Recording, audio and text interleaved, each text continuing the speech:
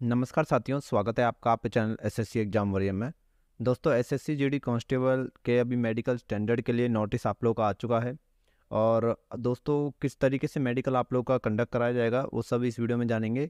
Documentation से लेकर आप लोग का फाइनल मेडिकल तक आप लोगों किस तरीके से होगा डिटेल मेडिकल एग्जामिनेशन दो हज़ार अठारह में मेरा मेडिकल किस तरीके से कंडक्ट कराया गया था वही मैं आप लोगों को पूरे एक्सपीरियंस के साथ बताऊँगा। तो सबसे पहले देखिए दोस्तों, आप लोग जब वहाँ जाएँगे तो आप लोगों को एंट्री की जाएगी। एंट्री के टाइम पर आप लोग के जो है ग्रुप डिवाइड कर दिए जाएँगे।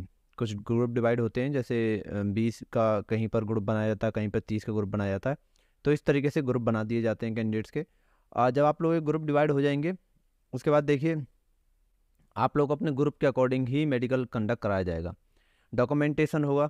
डॉक्यूमेंटेशन में किस तरीके से होगा वो बता देता हूँ। डॉक्यूमेंटेशन में आप लोग के डॉक्यूमेंट्स चेक किए जाएँगे एक साथ बैठा कर उसके बाद डॉक्यूमेंटेशन के बाद आप लोग को डॉक्यूमेंटेशन से पहले आप लोगों का जो है बायोमेट्रिक होता है और उसके बाद जो है आप लोग के डॉक्यूमेंटेशन होते हैं। सभी डॉक्यूमेंट्स चेक किए जाएँगे, जिसमें आप लोगों का जो डेट है वो मैच की जाएगी। यानी टेंथ की मार्कशीट मार्कशीट के अकॉर्डिंग आप लोग की जो है डेट ऑफ़ बर्थ है या नहीं है। आप लोग का मेडिकल जो आप लोग का ये ओबीसी या एससी या एसटी का जो सर्टिफिकेट है वो चेक किया जाएगा। तो आप लोग का रिजर्वेशन सर्टिफिकेट चेक किया जाएगा और अगर आप लोग के पास रिजर्वेशन सर्टिफिकेट नहीं होगा तो आप लोगों को जो है जनरल में काउंट किया जाएगा। और उसके अकॉर्डिंग अगर आप लोगों ने एज रिलैक्सेशन लिया है तो कहीं ना कहीं आप लोगों को भर्ती प्रक्रिया से भी बाहर होना पड़ सकता है। जो आप लोग का सर्टिफिकेट है, वो एज़ पर एसएससी रूल के अकॉर्डिंग होने चाहिए। जो भी एन एस ने अलाउड किया है, उसके अकॉर्डिंग आप लोग का जो है सर्टिफिकेट्स होने चाहिए। इसके बाद देखिए दोस्तों डॉक्यूमेंटेशन के लिए मैंने स्पेशल वीडियो बना दी है मेडिकल के रिगार्डिंग है। तो मेडिकल के रिगार्डिंग इसमें ज़्यादा जानेंगे। डॉक्यूमेंट्स की वीडियो के लिए आप लोग सेपरेट वीडियो देख सकते हैं। अब देखिए, जब आप लोगों का ग्रुप डिवाइड हो जाएगा, नहीं, आप लोगों का एक ग्रुप बन जाएगा तो उसमें जो है पच्चीस से तीस कैंडिडेट होंगे, इससे ज़्यादा कैंडिडेट नहीं लिए जाएँगे ग्रुप के अंदर। उसके अकॉर्डिंग आप लोग के जो है डॉक्टर्स डिवाइड होते हैं। जैसे एक मेडिकल स्टैंडर्ड पर चार से पाँच डॉक्टर होते हैं तो चार से पाँच ग्रुप बनाए जाते हैं। तो जो भी आप लोग का सीएम डॉक्टर रहेगा, जो भी आप लोग का मेडिकल डॉक्टर अपॉइंट किया जाएगा, उसके अकॉर्डिंग हो रहा है। और डॉक्टर पे काफ़ी डिपेंड करता है दोस्तों, कि कुछ डॉक्टर ऐसे होते हैं, जो ज़्यादा से ज़्यादा रीमेडिकल देते हैं, कुछ होते हैं कि जो है सिक्स बाय नाइन को भी अलाउड कर देते हैं। फिर आप लोग का हीमोग्लोबिन जो है, उस पर भी ज़्यादा ध्यान दिए बारह से अठारह तक जो है आप लोग का ले लेते हैं। इसके बाद जो आप लोग का बात करते हैं हम आगे डिस्टेंस विजन की तो सिक्स बाय नाइन भी ले लेते हैं और बीपी की बात करें तो 140 तक भी अलाउड किया था हमारे यहाँ। जो हमारे मेडिकल डॉक्टर थे, उसने 140 तक भी अलाउड किया था। वहीं पल्स रेट भी 80 तक जो है अलाउड कर दी थी। अभी मेडिकल स्टैंडर्ड में बात करेंगे तो सबसे पहले जो है, आप लोगों का हॉस्पिटल भेजा जाता है। ग्रुप के अकॉर्डिंग आप लोग को हॉस्पिटल भेजा जाता है और जो आप लोग का नियरेस्ट हॉस्पिटल रहेगा, वहाँ पर हॉस्पिटल भेजा गया अगर आप लोगों के कैंपस के अंदर सुविधा होगी तो वहीं पर करा लिया जाएगा और नहीं होगी तो आप लोगों को एक मेडिकल हॉस्पिटल भेजा जाएगा, प्राइवेट हॉस्पिटल हो सकता है। तो वहाँ पर आप लोग का ब्लड लिया जाएगा, यूरिन लिया जाएगा और एक्सरे लिया जाएगा। ये तीन रिपोर्ट होंगी जो कि नेक्स्ट डे आप लोग को मिलती हैं। तो इस कारण से पहले दिन आप लोग का सिर्फ़ ब्लड, यूरिन और एक्सरे काम का काम होता है और एक ग्रुप डिवाइड होता है। ये सब काम होते हैं पहले दिन। और उसके बाद जो है नेक्स्ट डे आप लोगों का कंप्लीट मेडिकल शुरू होता है। जब आप लोग की रिपोर्ट अगले दिन आ जाएगी, तब आप लोग का जो है मेडिकल प्रोसेस शुरू होगा। नेक्स्ट डे आप लोग को बुलाया जाएगा, कुछ फॉर्म फिल कराए जाएँगे। सेकेंड डे इसके बाद जो है मेडिकल डॉक्टर आप लोग का मेडिकल एग्जामिनेशन लेगा। तो यहाँ से जो है आप लोग का मेडिकल प्रोसेस शुरू होता है नेक्स्ट डे से। और ये किस तरीके से होता है वो जान लेते हैं। सबसे पहले देखिए आप लोग का जो हैंड है, वो आप लोग चेक किए जाते हैं कि प्रोसेस किस तरीके से भी हो सकता है। मैं आपको बताऊँगा, सिर्फ़ हैंड के स्टर्स चेक किए जाते हैं, जिसमें आप लोग का हैंड का एंगल होगा ये सब चेक किया जाएगा। बीपी आप लोग का चेक किया जाता है। बीपी की बात करें तो 140 तक जो है आप लोग का चल जाता है।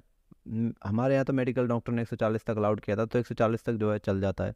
इंटरनल पार्ट्स चेक किए जाते हैं सभी। उसके बाद जो है हैंड का मैं आप लोगों को बता ही चुका हूँ। और फिंगर्स होती हैं, वो भी चेक की जाती हैं। हाथ काँप तो कांपता तो नहीं आप लोगों का, ये भी टंग चेक किया जाता है। टंग के अंदर देखिए जीव के अंदर प्रॉब्लम आती है तो वहाँ पर कुछ डॉक्टर्स चेक कर लेते हैं। यानी कुछ रीडिंग करा के देख लेते हैं। तो इससे पता चल जाता है कि आप लोग हकलाते तो नहीं हैं या तो तुतलाते तो नहीं है तो ये सब पता चल जाता है। तो जीभ चेक की जाती है, पढ़ के चेक की जाती है।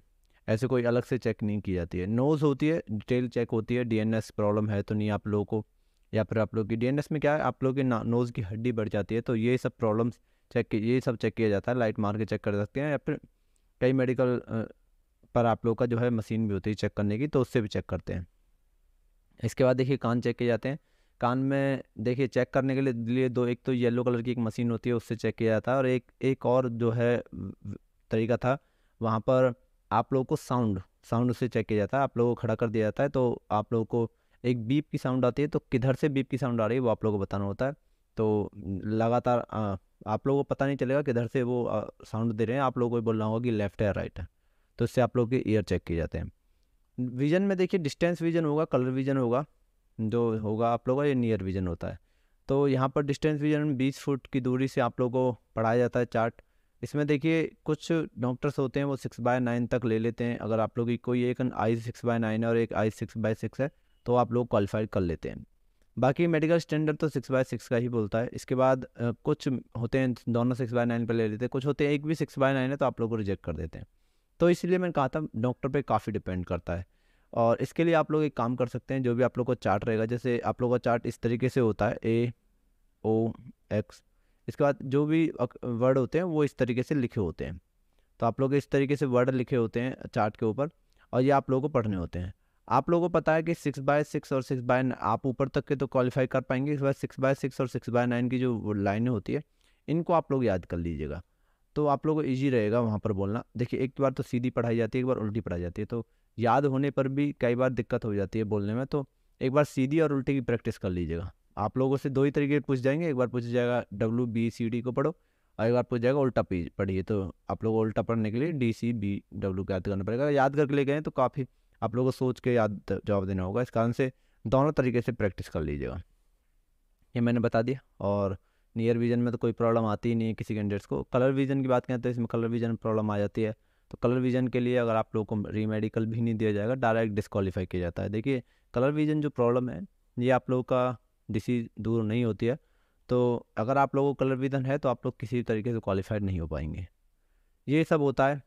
मैंने सब आप लोगों को डिटेल वाइज बता दिया है। किस तरीके से मेडिकल एग्जामिनेशन कंडक्ट कराया जाता है S S C G D constable के अंदर।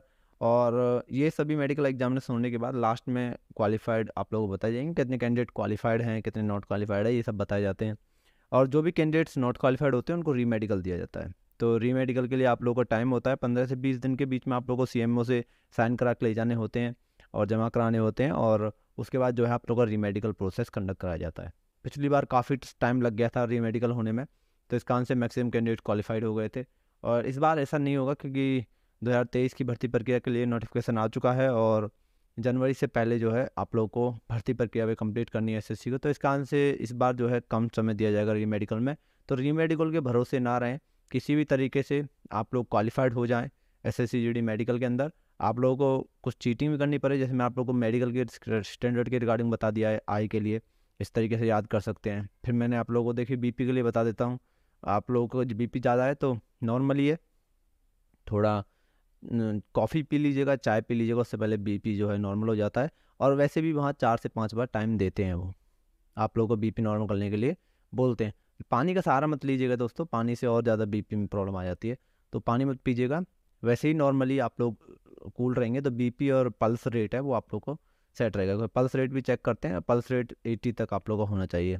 तो जब घबराते हैं तो पल्स रेट भी हाई हो जाता है। तो एटी तक ले लेते हैं पल्स रेट में भी।